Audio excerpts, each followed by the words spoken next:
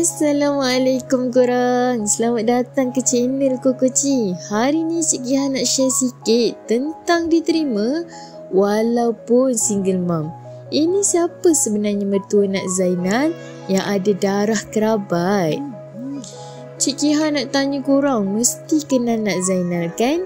Sebelum ni kan Ada berita yang gempar Kerana dia telah dimasukkan ke hospital Keadaan Nak Zainal pada masa itu sangat kritikal di ICU gara-gara jangkitan kuman sehingga menyebabkan paru-paru berdarah. Alhamdulillah setelah sekian lama Nak Zainal telah pun dikeluarkan dan kembali semula ke pangkuan keluarga.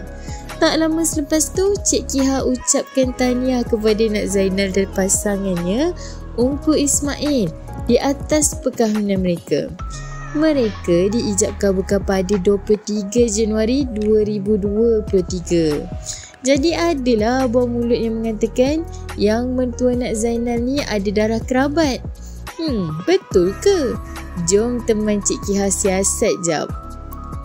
Nat Zainal atau nama sebenarnya Farah Nadia binti Zainal Abidin yang sekarang berusia 32 tahun. Sebenarnya Nat merupakan seorang single mom dan mempunyai dua pasang cahaya mata iaitu Fahad Ibrahim dan Budi Kalsum.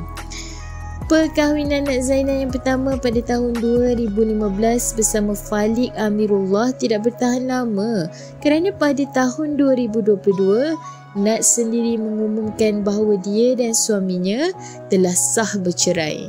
Namun enggan mengulas mengenai penceraiannya itu, betul lah apa yang orang cakap. Kalau dah jodoh tak ke mana kan? Pada awal tahun 2023, Nat Zainal telah selamat mendirikan rumah tangga bersama pasangannya Ungku Ismail. Nak dijadikan cerita sebenarnya, Nat Zainal dah lama mengenali dan mula rapat dengan Ungku Ismail sejak mereka menjalani penggambaran dalam drama Cina Buta dan selepas Nat bercerai. Jadi tiada spekulasi yang datang kepada Nat sebab penceraian berlaku kerana kecurangan ya. Korang jangan main rembat pula tau. Ungku Ismail merupakan seorang pelakon lelaki yang handal dan telah lama menceburi bidang lakonan sejak tahun 2006 lagi. Dilahirkan pada 26 Disember 1985 yang berusia 37 tahun sekarang dan dia juga berasal dari Johor Bahru, Johor. Selain bidang lakonan, Ungku Ismail juga merupakan seorang pengarah dan juga pengacara tahu Memang sesuai sangat pun dengan Nat Zainal ni. Jadi dari mana sebenarnya darah kerabat tu? Takkanlah korang tak perasan nama Ungku kot. Sebenarnya ayah Ungku Ismail ni adalah seorang menteri besar Johor yang bernama Ungku Abdul Aziz Ungku Abdul Majid. So memang dah ada di Johor. Ungku ni adalah gelaran keturunan diraja. So nanti bila pasangan pengantin baru ni dikurniakan anak, nanti anaknya bolehlah letak ungku tau. Hihihi.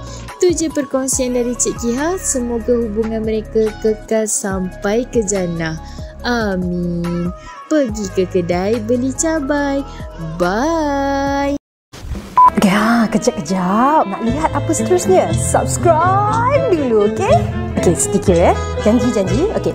Satu, dua, tiga. Okey, subscribe. Terima kasih. Dengan sumpahan mulut aku. Diulangi artikel ini diambil dari artikel berkenaan. Sebagai penggemar media hiburan, harus berhati-hati dalam memilih sesuatu isu. Kami tidak bertanggungjawab kerana pihak kami tidak tahu kesahihan berita yang dikeluarkan.